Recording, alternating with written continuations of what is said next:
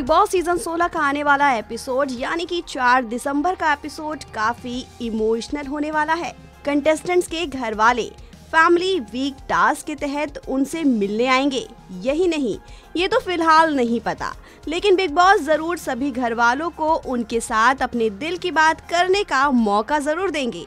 जब big boss मौका देते हैं तो सभी घर वाले इमोशनल हो जाते हैं।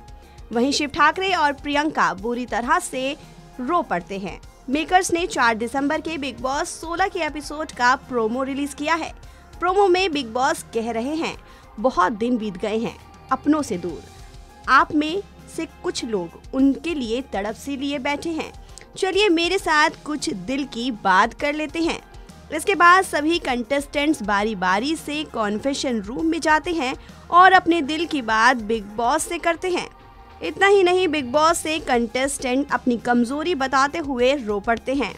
प्रियंका रोते हुए बिग बॉस से बोलती हैं, मैं एक सिंपल सी लड़की हूँ, जिसे शादी भी करनी है, घर बसाना है। अंकित के केस को लेकर मैं ज़्यादा इमोशनल हो रही हूँ।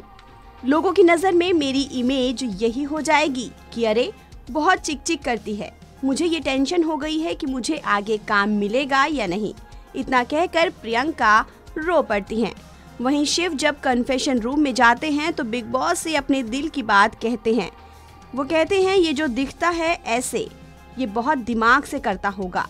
पर घर वालों को पता है कि मैं हमेशा दिल की सुनता हूँ।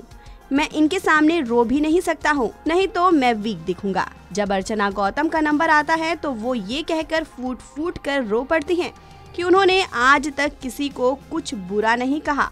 और इस घर में आकर वो पता नहीं कैसी हो गई हैं। बिग बॉस से अर्चना गौतम कहती हैं कि बिग बॉस, मैं कभी किसी का दिल नहीं तोड़ूँगी। लाइफ में कभी किसी से गलत नहीं बोलूँगी। लेकिन मैं यहाँ पर कैसी बन गई, मुझे खुद नहीं पता।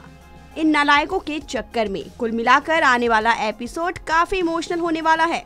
फ़िलहाल इस खबर में इतना ही। देश और दुनिया की तमाम खबरों के लिए आप बने रहिए वन इंडिया हिंदी के साथ।